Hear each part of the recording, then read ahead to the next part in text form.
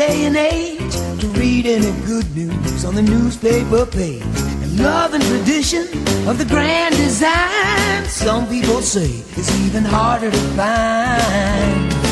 Well, then there must be some magic clue inside these gentle walls. Cause all I see is a tower of dreams, real love bursting out of every